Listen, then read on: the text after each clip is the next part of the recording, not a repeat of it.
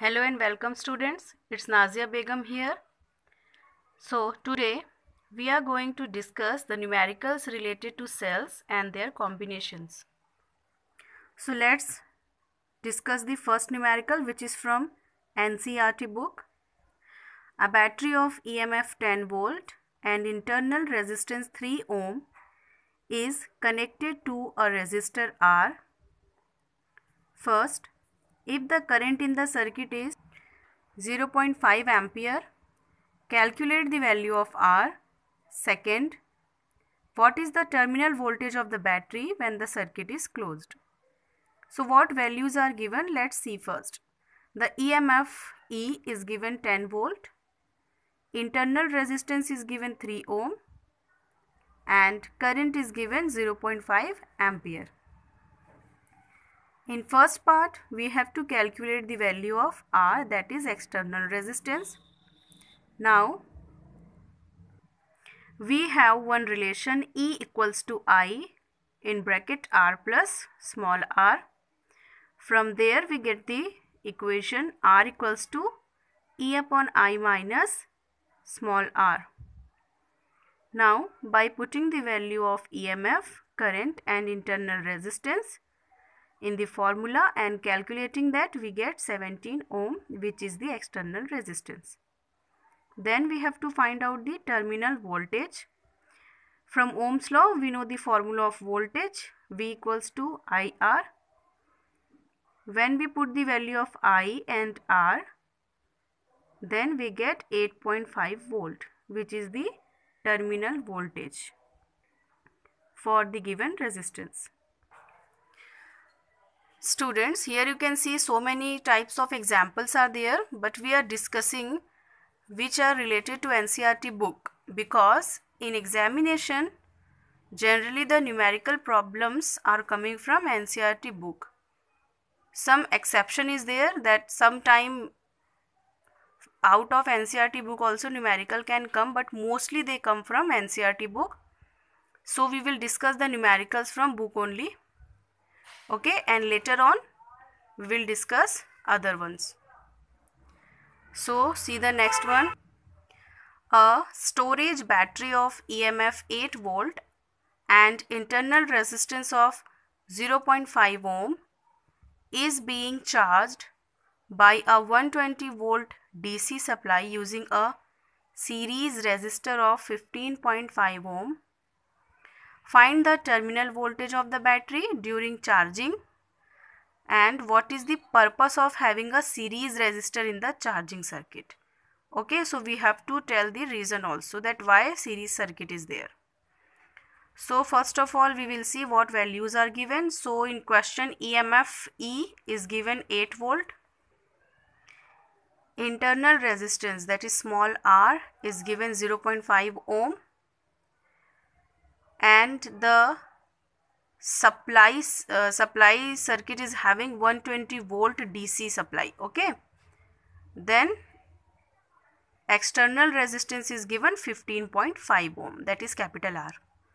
So first of all during charging we will find out the net EMF net EMF equals to the voltage or the EMF supplied by the source minus EMF of the battery. So 120 minus 8 that is 112 volt. That is the net volt. Okay. Then we have to see total resistance. In question only it is given that series circuit is there. So that's why the total resistance will be the algebraic sum of both the resistances. So that's why we will simply add external and internal resistances so 15.5 plus 0.5 equals to 16 ohm. Then charging current I equals to V upon R. It is from Ohm's law I equals to V upon R. By putting the value of net EMF 112 and the value of resistance is 16 ohm and solving that we will get 7 ampere. So potential difference across external resistance okay how to find out the external uh, sorry potential difference for different resistances for that we will first find out the amount of current and after that for whatever resistance we have to find out the potential with that we will multiply it. So potential difference across external resistance will be V equals to I into capital R. So 7 into 15.5 equals to 108.5 volt. Then we also have to find out the terminal voltage of the battery during charging. Terminal voltage when we will solve that uh, that formula. So we will write the whole voltage. So V equals to E plus IR. This is the formula for terminal voltage. So it is 8 plus 7 into 0.5 equals to 11.5 volt. Now one question is asked. What is the purpose of having a series resistor in the charging circuit? So here you can see the reason is written.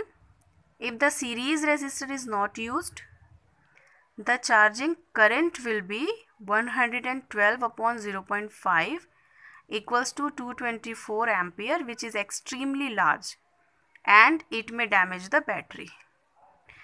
Actually what? In parallel combination, the total resistance is less than the least re individual resistance. So when we will take it in parallel and not in series, so that time what happen? The total resistance of the circuit will be less than 0.5 ohm. And when we divide total EMF E by 0.5 or less then we are getting a very high amount of current. And that much current can damage the battery. So that's why we are using the charging current in series so that extreme current will not flow and our battery will not get damaged now next move to next question 75 6 lead acid type of secondary cells each of EMF 2 volt and internal resistance 0.015 ohm are joined in series to provide supply to a resistance of 8.5 ohm. What are the current drawn from the supply and its terminal voltage? So total EMF in series. See two cells are connected in series. So total EMF is E equals to 6 into 2 that is 12 volt and total internal resistance 6 into 0.015 that is 0.09 ohm. Total resistance of the circuit. Capital R plus small r. Small r here is total internal resistance. And when we have to find out total resistance so we will simply add capital R plus small r.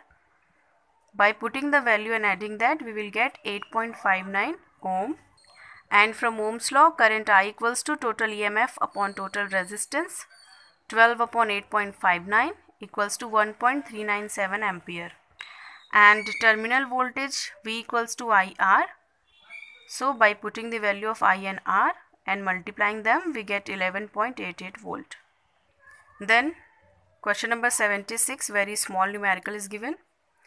A secondary cell after long use has an EMF of 1.9 volt that is uh, its EMF has decreased okay initially it was more than 1.9 but because of long use now it is 1.9 volt and a large internal resistance of 380 ohm.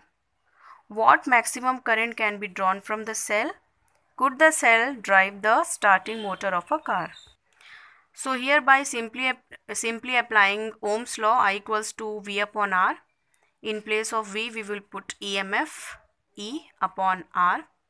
We get 1.9 upon 380 that is 0.005 ampere and obviously this current is very very less. So this current is too small to drive the motor. So this is it for today's lecture and you try to solve more and more questions related to resistance and cells because these two type of numericals we have discussed. In next lectures, I will discuss some numericals related to Kirchhoff's law and potentiometer and Wheatstone bridge. Till then, goodbye, take care and do some productive work.